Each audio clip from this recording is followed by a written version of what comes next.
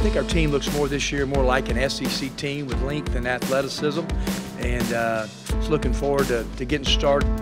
With all of Rebel Nation's sights set on breaking the bracket come March, Coach Davis's team must turn their focus to what is in front of them as they discover their new formula for success. You know what I'm saying? Been waiting on this day all summer. Can't wait to get to it with my dogs, man. We finna play hard, get the dub, bring it home, you know. Scratch, man. That's what we that's what we started at last year. We're gonna finish. We're finish better than what we did, man. Breein Tyree, a run through steal. He'll go in and jam it home.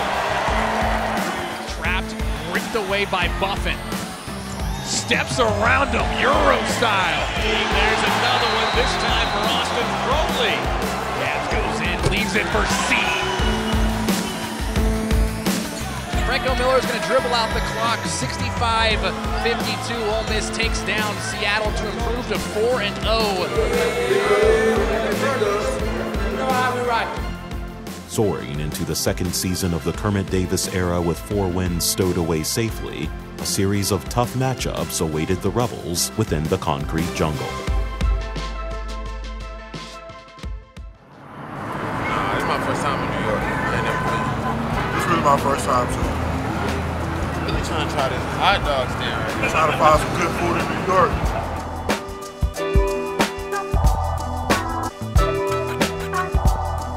The square XXXL. Enjoy it, man. New York is New York is the move.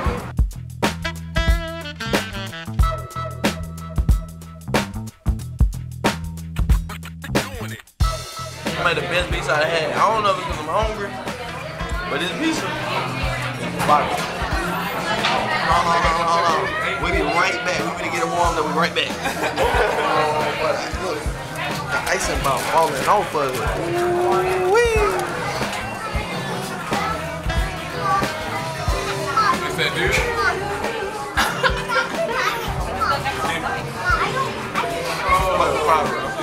I ain't had no good lemon cake like this in a minute, boy. I would already get a souvenir. Boys don't want to no.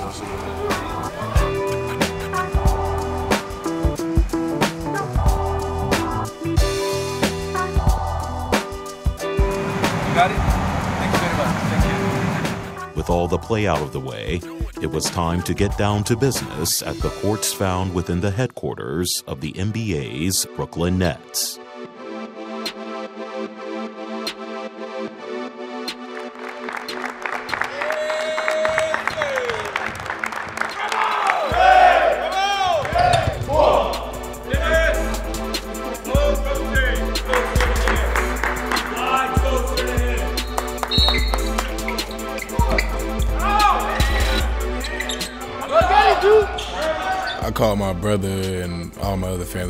That was the most beautiful setting I've ever been in that had anything to do with basketball. That was that was terrific. I've never seen anything like that before. Seeing something like that that is on the top of the floor and you can see the view for from the like from the facility all the way to the city.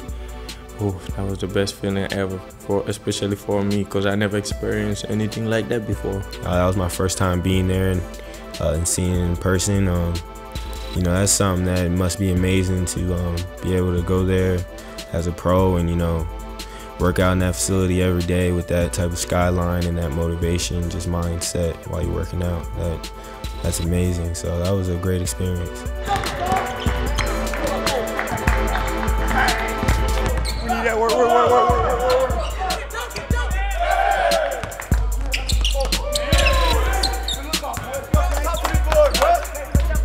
31 shot in three minutes. The best out of all. As practice reached near its end, the team would gather to the side to listen to the wise words from Randy Williams, a close friend and personal trainer to NBA superstar Kevin Durant. When you think you work hard, you understand this. It's a, it's a, it's a lot of other people that's trying to get your spot. So you gotta, you, it- in mental toughness is key too. You know what I'm saying? You gotta really lock in and you gotta concentrate, dude. Cause understand this. Where the head coach at, man? He, ble- hey, this is a good dude. He gave y'all an opportunity. You feel what I'm saying? Understand this. When you're done playing with basketball, dude, you gotta go to that real world. Some of y'all know what some of y'all people's in that real world, and some of that stuff not good. So understand this, when you're around this right now, you should lock in, dude. This is good. You in a good controlled environment. Look where you at. Some of y'all probably never thought y'all come here. And he sent us to a message that like, you know, we gotta take advantage of what we have right now. Listen to the coaches, you know, work hard, cause I promise you one day this will go on. So they they understand this. When you're around older people, they don't want to see y'all fail because they already been there. So take advice from me and understand it's like, dude, he already lived life. He lived life. They older than me. They know what life is. It ain't all about making to the NBA, dude, because guess what? You can make to the league, but if you don't know about life, you going it ain't gonna work. This this basketball is uh, becomes more and more of a business every level you go up, and uh, that's something I definitely understand. And um, just having that chip on your shoulder that he was just trying to you know instill in all of us, and you know not taking for granted the good situation that we're in right now. After hearing that from a guy that is really close to that superstar, that made me start taking things very very serious. You know that was a great speech and something I'll you know take with me in my career.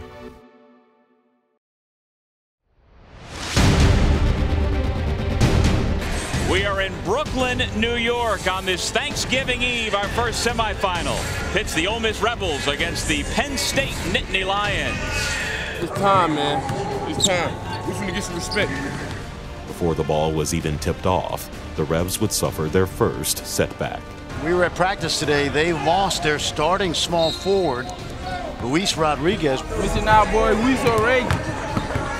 We gotta, gotta pick it up for him. Got your back, brother.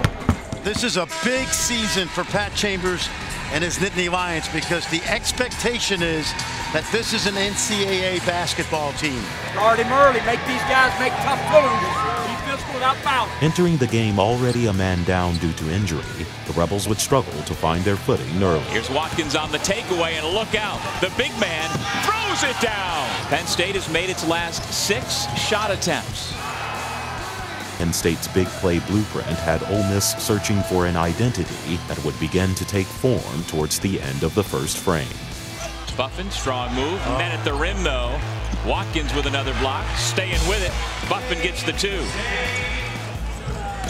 Hinson, quick first step, right to the rim. Shown what was expected out of him. He scored 15 in that loss. He's got nine already in a starting role tonight. KJ Buffen finds the open man Hinson for three.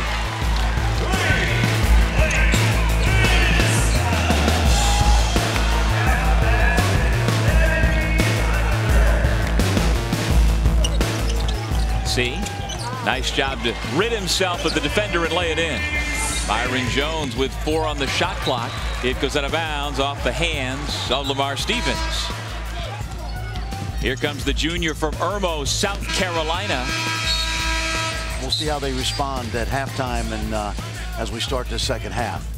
With no time to hang their heads, senior Breein Tyree would be the first one to dust himself off and lead the charge from the depths of defeat.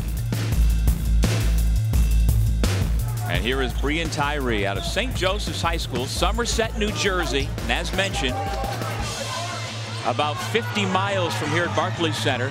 You know, I didn't play the first half like I wanted to. Uh, even when we came out in the second half, um, just heard the cheers, heard all the support. It kind of gave us a second boost. Tyree, little step back. Maybe that'll get him going. Long two. Things that you guys see in the game, you probably don't even believe what we see in practice. The, the offensive machine, the type of scoring um, tears he can go on is unbelievable. A good sign, Tyree making a couple shots.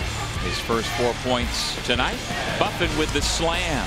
7-0 run for Ole Miss. Trying to make it a ball game once again. And it's going to be interesting to see how the Nittany Lions play with the big lead because they haven't really handled that lead well since the end of the first half. He can do that. Blake Hinson can really shoot it. It's good that he's back. Here we go. A dozen straight points for Ole Miss. I don't know if we really realized how many Ole Miss people were there until, you know, we got down 21. He started coming back, and you could feel them right behind us. It just meant a lot to know that the Ole Miss crowd was there with us like the whole time we were down. We ate up energy from each other. Everybody in the whole stadium who was wearing red or navy blue, we was eating up that energy. And the folks who made the trip from Oxford, Mississippi are starting to feel it. Tyree. Nothing Watkins could do about that one.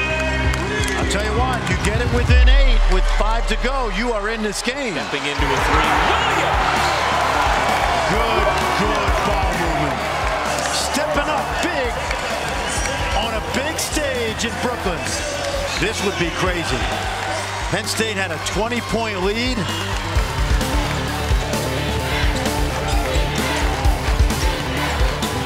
Brockington off glass, no. Ole Miss with a chance to tie. Blocking foul, count the basket, and Breein Tyree can tie things up at the line. What a second half for the senior from New Jersey. All the way back from 21 down. Take a look. Who ties the game. 70 apiece. Mom and dad love it.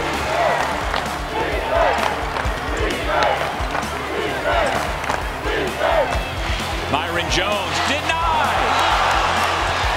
Shot clock at 12. After completely swatting away their early deficit, it was time for each side to turn to the prides of the packs in hopes of the final blow. The senior from Philly, couple of fakes, steps through, and the finger roll puts Penn State back in front. Really good defense, too. Tyree squares it at 72. Stevens for the lead. Tyree ties it right back. All knotted up, the resilient Rebels would need just one more opportunity to snatch a victory out from thin air. Dangerous pass taken away by Buffen. Wow. And he missed the layup. Still tied, and a foul is called. Wow. Wow. So the foul went against Myreon Jones that will send Bryce Williams to the free throw line. Very calm and cool. Oh, he's, he's been calm and cool all night, this kid. Both teams are out of timeout, so the Nittany Lions are going to have to go down two. Whips it to the corner. Dread, air ball, out of bounds. Ole Miss possession. Long pass. Clock runs, and the clock runs out. But it is one unbelievable comeback. There you see Ole Miss outscored Penn State 43-20 over the final 16 minutes of the game, down 21 late in the first half. Kermit Davis's club gets what will be a bubblicious win.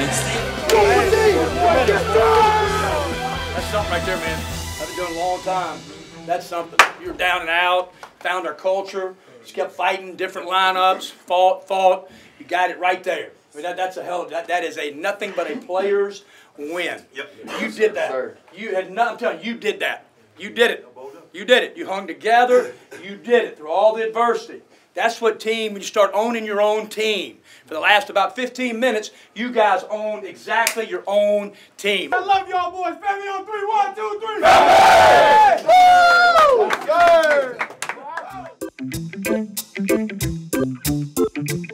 Sure appreciate everybody here. I know we get lucky. We get to have our families here for Thanksgiving. Like I said, Brian, a lot of times we don't. And so I know wish all you guys health and happiness for your for your families that are that are back home.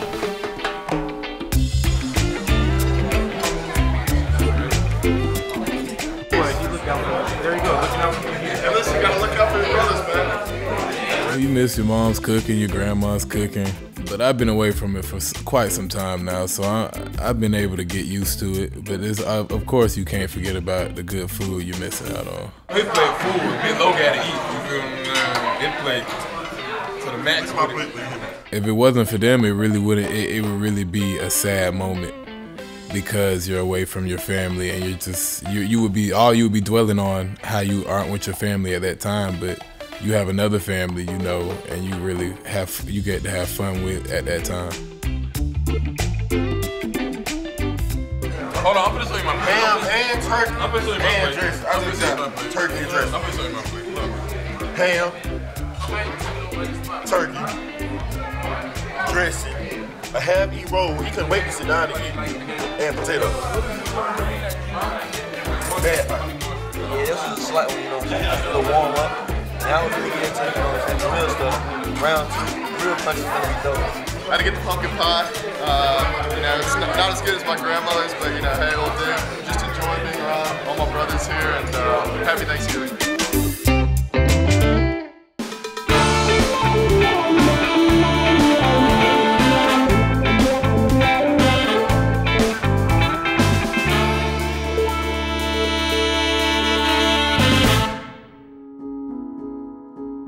Be no Black Friday deals in the Barclays Center as the rebels exchanged the bright lights of the big city for the comforts of the Tuohy Center.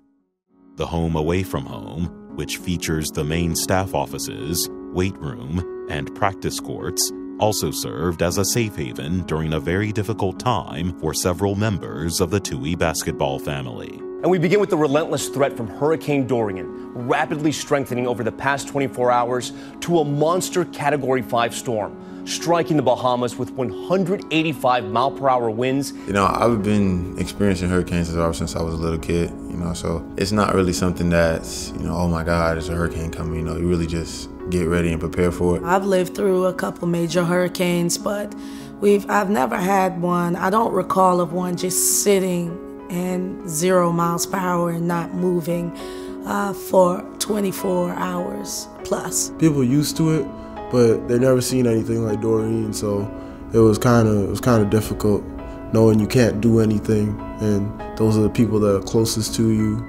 Nearly a thousand miles away from home, Ole Miss freshmen Franco Miller and Sammy Hunter were joined by junior Valerie Nesbitt and women's head coach Yolett McPhee McCuin as they could only hope for the best during a destructive time of the year back home. Being here during the hurricane, it's just something that it made me feel I can't really explain it. It's just like I couldn't I couldn't do anything. I could just sit down and watch all the devastation and stuff happen without, you know, being able to help, without being able to help my family. It was hard go to weights, go to practice, come back home and just sit there and think and wonder, knowing you can't talk to them. Uh, communication was kind of spotty. You know, it would be on and off at times. You know, sometimes I'd be on the phone with my mom and it would like disconnect and stuff like that, you know. But it, it, through the whole throughout the whole hurricane, I think I, I talked with them a lot, so it, that really made me feel comfortable. In the wake of Hurricane Dorian, Freeport's Franco Miller Jr. led a relief effort on campus, encouraging the Oxford community to tap into that southern hospitality. Oh, y'all got pool back I gotta try and pack these. I'm not a professional packer. Goes great. Does it matter if we mix the content though? Who, do, who donated this? Who donated this? Uh, there was a lady. A lady over there?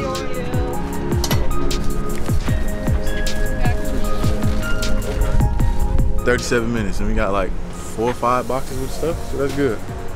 Good. Hopefully by seven o'clock, we got no more boxes that we can fill up. So after watching all the devastation that happened and seeing, you know, what took place, I just thought that, you know, the best way that I could try to do something was just to, you know, gather supplies and gather stuff like that instead of just, you know, doing like a fundraiser and asking people for money, whereas they could just, you know, bring supplies of their own and bring stuff like that. So I, I contacted uh, Jennifer Saxon. You know, she was great. She helped me the whole way. You know, I, a lot of thanks to her, and that that was just she made it happen for me. You got a shot at Miss Jen. Without her, this wouldn't have been possible. Oh, Franco, that's so sweet That's- of you. Oh, guess what? We got, I gotta get a computer because we can order your mom. That, that store probably don't do pickup, but it's another store in Miami Gardens that'll do it. Okay. So there's It's- 2.5. It's 2.5 miles away. And, and the biggest thing is just, I think, show the support and love. And I think a lot of people reached out uh, to Franco. Like, Obviously, we had an unbelievable connection with Yo, who already knew the family and really understood the ins and outs of exactly how to, you know, to get the goods and supplies to to the island. Easy, I got it. Appreciate that, job, boys. Appreciate that. Appreciate that, appreciate that. That was pretty good, you know, because it helped my family out a lot. You know, we had like a lot of family members living in my house because they had, you know, pretty much their houses were flooded and they had lost everything. So it was pretty good, you know, to have some stuff just to help immediate family members out. for for Franco to have a heart of gold, man, he's a, he's a great person. To, for him to do that, that was, that was a big thing for our country. Even he even made the news over there. I was proud to see him take it into his own hands and go after it in the way that he did. Uh, if you've met Franco, he's kind of mellow, but for this, he jumped on it, and it can, you can tell the passion he had for his homeland and just understanding what his parents were going through. Franco has a obviously a great love for his family. He and his family both have, have an unbelievable love for, for their island and the people that are there. I could tell it when I went there and recruited Franco. And for him to organize it, to see him work along with his fellow teammates, to, you know, with all the types of goods and different things that they sent back to the island of Freeport. I, I knew people would come out and, you know, people would support, but I didn't know that would be like that many things that we got. You know, the Ole Miss community was great. A lot of people came out, a lot of teammates even came and supported.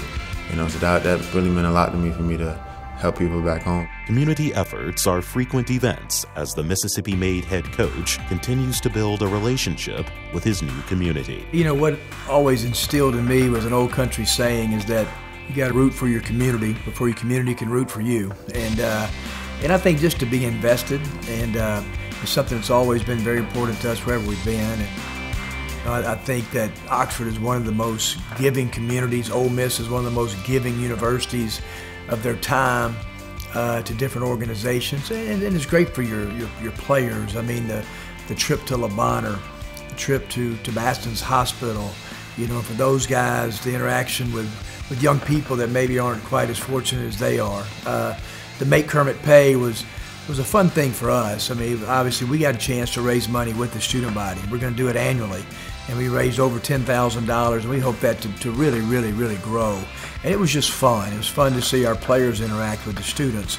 And then, you know, how our uh, university reacted, you know, with, with Franco's uh, thing in the Bahamas. So all, all those things have just been, been great for our team.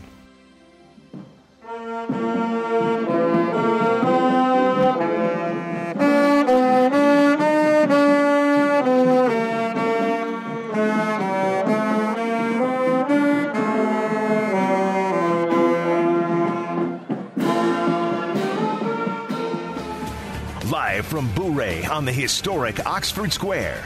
This is Reb Talk. We do have on our show tonight Rebel head coach Kermit Davis. Yeah, Butler's outstanding team. Tomorrow night, it's Johnny Neumann night for yep. the matchup with Butler, an outstanding team, uh, probably the best non-conference opponent we've got to deal with. Yeah, and we've had some good ones. Yeah. I mean, I don't know who's better. I mean, they're just built. I mean, they got ranked 24th today, and deservedly so. And I think they're going to have a great chance to win the Big East they're a really, really good team, and we need a lot of people to come. You know, hopefully that it'll be a, a great, great crowd. That on a Tuesday night, people are come and, and see a ranked basketball team. That's why we scheduled it. Even in the face of a perennial contender surrounded by a sea of powder blue, there is nothing that can keep redshirt transfer guard and Oxford's own Jarkel Joiner from shining his own particular light on any situation. Yeah, yeah, yeah, yeah. Bryce, I got me mic'd up. Blake is my twin for y'all who didn't know. They got me mic'd up, twin. Yeah. Yeah, he's mic'd up over there. Yeah, on the camera. I'm mic'd up right now. They got me mic'd up, you feel me? Take between the legs. That thing. Take between the legs. Take between the legs. Between the legs. Is that what you want? yeah, let's get it. Business, straight business. Easy. Bow. Bow. Show me something. He said he need to cut his tape. I don't know what he's talking about. Being soft, probably. Bucket Frank, need him. Bow. I'm gonna keep saying, I'm gonna keep saying it. But in the game, you gonna go dunk it. Say you promise. Go between the legs, AC. Between the leg, Blake. he said I don't got that. I keep telling everybody go between the legs, but they're not listening to me. You look good, bro. Hey, that powder blue tough. Yeah, yeah, yeah. You tough right now for a fantastic defensive club, holding their opponents to 55 points a game. Ole Miss with seven freshmen on their roster. Only four players were on the team last year. Lake Hinson on the drive, gets it over the rim.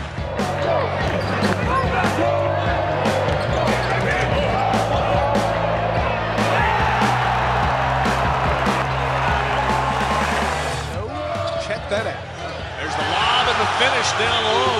third dunk of the game for Khadim Sy. Tyree, a deep three.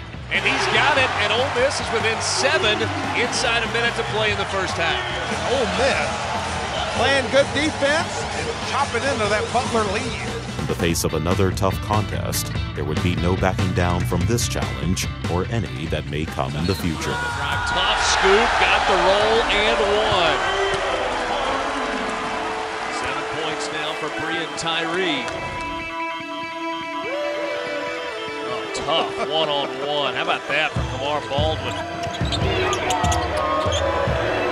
Sammy Hunter knocks down a deep three. With a three. He's got three more points. What a night for Kamar Baldwin. Now 19 in the game.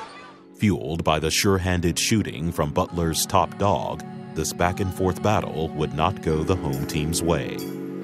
And after finishing a four game Thanksgiving feast against top 25 caliber opponents, Kermit's crew was left grateful but hungry for what is to come.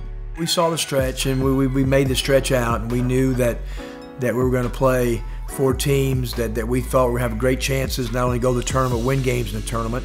Uh, three of the four have been ranked. The games we've been playing, you know, like we haven't been playing our best yet. Like we haven't been playing through the talent we have so far. We get in there, you know. We get in there, I guess, as a team every day, you know. We can compete with with great teams. We can compete with great teams. We're a great team ourselves. New team is what people don't really realize. That's what it's all about, just fighting through adversity, getting better just to get a win in the next game you got. And you know, not to hang your head and just keep playing because it's a long season and you have a bunch more opportunities to play. Butler, we played well enough to win, and uh, just you know, I thought we got good shots, and just kind of one of those things that shots didn't go in, but I thought our team got a little bit better. We have a young team, and I have I'm really excited about the team. I really feel like it's going to be a great one. So it's not the the results that we wanted for the four games, but the experience that we got, we sure found a lot about our team, and hopefully that's going to prepare us for for this tough SEC schedule that we're about to embark on in January.